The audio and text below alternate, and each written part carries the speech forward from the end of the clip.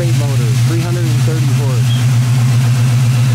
The car has over $45,000 in receipts. Full frame off restoration.